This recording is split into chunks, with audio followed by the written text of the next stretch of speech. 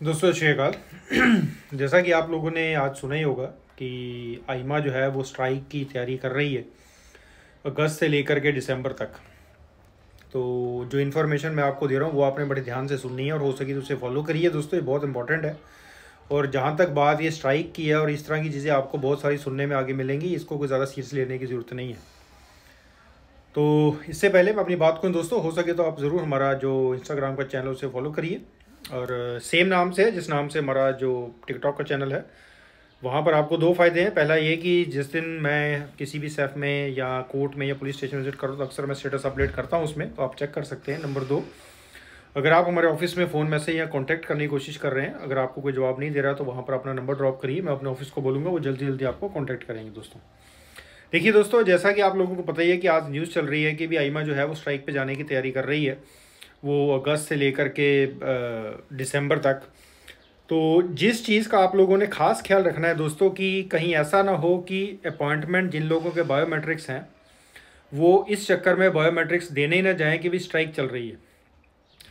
किसी भी हालत में आपने अपने बायोमेट्रिक्स मिस नहीं करने हैं, भले ही स्ट्राइक चल रही है या स्ट्राइक नहीं चल रही। है आपने जाना ही जाना है। जो टाइम, जो आइमा आपको बताई गई है, आपने उस तारीख को वहाँ पहुँचना ही पहुँचना है। अगर आप अकेले जा रहे हैं तो ज़रूर जाइए। अगर आप किसी लॉयर के साथ जा रहे हैं तो अपने लॉयर को आप लेकर के जाएँगे। अगर आपका लॉयर कहता है कि भाई स्ट्राइक चल रही है, जाने का कोई फ़ायदा नहीं है, मैं बाद में डेट ले लेंगे जो भी होगा। तो आपने कहना, सर, भले ही स्ट्राइक चल रही है, जाने का फ़ायदा है, चाहे नहीं है, मैंने जाना है, क्योंकि मेरी डेट है। और मुझे आइमा की तरफ़ से कोई कन्फर्मेशन ईमेल नहीं आई है कि आपकी जो अपॉइंटमेंट है वो कैंसिल कर दी गई है। हम आपको नई अपॉइंटमेंट देंगे। जाना आपने ज़रूर है, वो आपने मिस नहीं करना है। और जहाँ तक बात रही स्ट्राइक की तो दोस्तों, ये मैंने शुरुआत में भी आप लोगों से बोला था कि आइमा की जो सबसे बड़ी प्रॉब्लम है, जिसको आइमा देख ही नहीं रही है, वो है वर्क फोर्स की। काम नहीं है, काम बहुत ज़्यादा है, इनके पास लोग नहीं हैं। तो अब जो आइमा के जो बचे खुचे लोग थे, उनको जो आइमा का हेड ऑफ़िस है उसने बोला था कि जी आप ओवर टाइम करिए।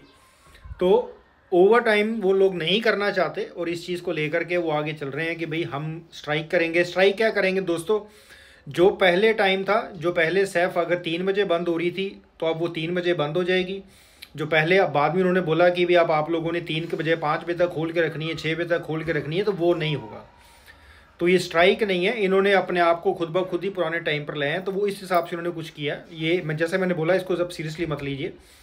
जिसके बायोमेट्रिक्स हैं या जिसकी जो भी अपॉइंटमेंट है, आपने उस अपॉइंटमेंट में जाना ही जाना है, आपने किसी भी हालत में उसको मिस नहीं करना है।